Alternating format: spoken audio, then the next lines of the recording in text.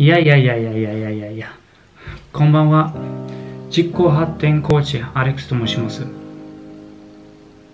あなたの最大資産は何ですか？あなたの最大の資産は何ですか？まあもちろんなんかね資産と負債が、まあ、両方がありましてで何が資産何が負債かというとちょっと本日を説明したいと思います最初はちょっと負債なんですけれども負債はあのもう簡単に言うと自分が投資した金は戻らないことです。逆に資産は投資した金が戻る。そしてその金額じゃなくてその増加し、まあ、その資産の中で金額が増加した上で戻れる。これは資産と負債の分かれ方です。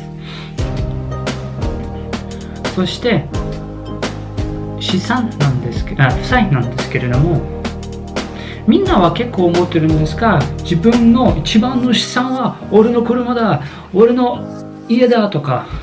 いやいやいやいやいやいやいやいや家とか車は資産ではないんです。その車は会社の車だったらそこでメメッカ償却メッカ償却だったっけ？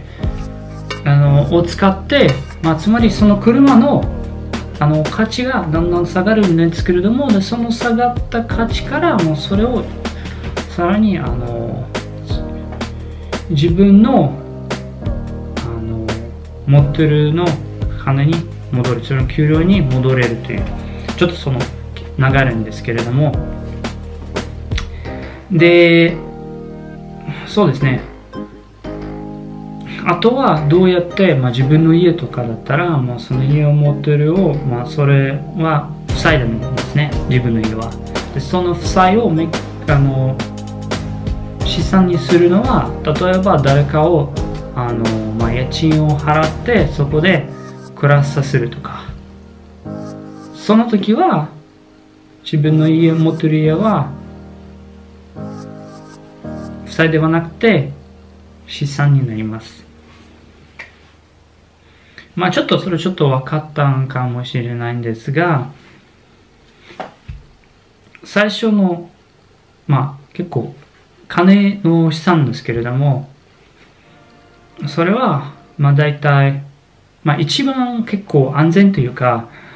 まあ安全だけじゃなくてあのまあ結構儲けそうなものなんですがこれはやっぱり不動産です。不動産はあの持つのは結構大事です。不動産持つのはそのその経済の循環なんですけれどもでそこであの不況になった時にたくさん買ってで経済がブームになる時に売るというのパターンは一般的ですね。でつまり普通の、まあ、金を貯まったり貯金するのはあまり良くないんですね。どっちかというとあの貯金すると、まあ、前前に言ったんですが、まあ、年々に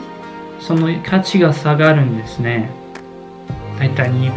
か。このぐらいで値段が下がったりだからあのまあ、銀行に預かるとか自分の金とかまたは自分の家に持つのは結構逆に危険です。だからもうできるだけもういたわない金額までにそれを出す。あの資産を作る。もう最初の資産は、まあ、その1はやっぱり不動産だったんですね。あとは、やっぱり株とかですね、株とか金属とかなんですけども、金属とかは最近はちょっとわからないんですが、株とかはまあ結構、まあビットコインとかですね、結構仮想通貨ですね。あの、まあ、安全という人もいますがどっちかというとそのブローカーさんとかは結構いいブローカーさんは不動産もそうですけれどもいいブローカーさんがないとそこ木そうなあのオファーとかはあまり手に入らないんですね。最初は結構大変ですね。だから一番大事な資産は何ですか？ですか？それはあなたの頭です。そう。あなたの経済才能なんですけれども、その経済的な教育ですね。みんなは多分、もし大学とかの経済教育とかを受けたりしたんですが、ただその経済教育はもし、多分その、やっぱりちょっと違ったの教育ですが、もう、どっちかというとサラリーマンになるの経済教育ですね。サラリー私はあのおすすめたいのはあのサラリーマンの経済教育ではなくて企業者の経済教育です。どちらかというとそこからちょっとマインドシフトになります。そのマインドセットが変わります。その思考ですね。その思考があのサラリーマンと企業者の思考は結構真逆です。で、その思考をちゃんと分かればのその思考をちゃんと分かればだんだんその重なればあとはコーチとかをちゃんと申し込めばあの、まあ、いろんな講座とかですね。でそこでいろんなその経験を重ねて、まあ、自分自分のブローカーをか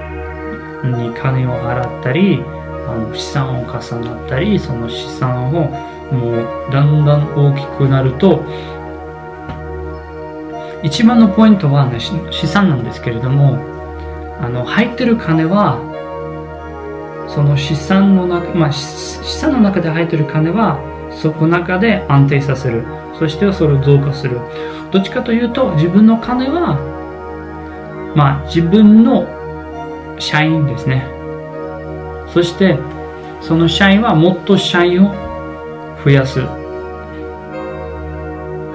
つまり金、もう金の奴隷ではなくて、金に使われる人ではなくて、金を使う人になるのが良いと言いたいんです。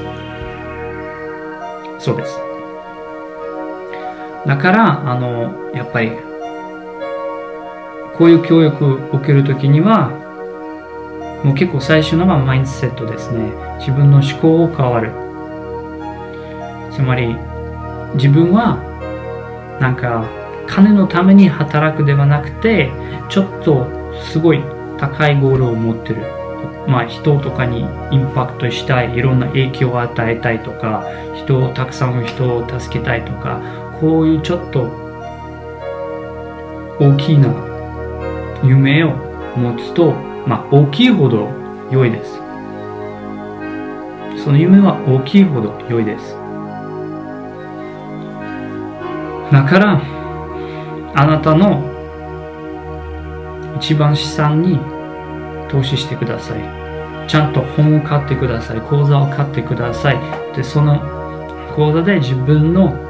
経済的な才能をだんだん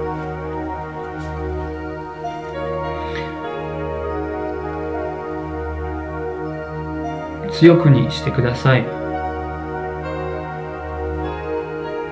そうなると危険性があるだろうがなかろうが関係ないんです。これだけを本当に覚えてください。リスクとか危険のは何でしょうね。それはあなたが知らないところは一番危険です。大企業者もそうですが、みんなは一番金を失う原因は無関心さです。その無関心によって金を失うのは一番多いの原因です。それを踏まえて、ちゃんと自分に投資してください。この動画をご覧いただき誠にありがとうございます。もしこのこの内容を気に入れたら高評価のボタンをお願いいたしますまたはその同じの価値のあるの動画を見たいなら登録もお願いいたしますさらにあのこうあの鐘が入ってるなんですけれどもこう変ですけれども。でそこでその鐘を押したりするとあの notification ですけれども自分がいつを動画するアップロードするかってそれも E メールをもらってでそこですぐに見れるようになります。それももしよかったらよろしくお願いいたします。さらにあのこうどんな動画を上げたらいいかとかもう何かこの動画についての意見があるかとかまあもう何でもいいですけれども下のコーランでご記入お願いいたします。それでは自分に嘘をつけないで。そして自分の情熱をたどって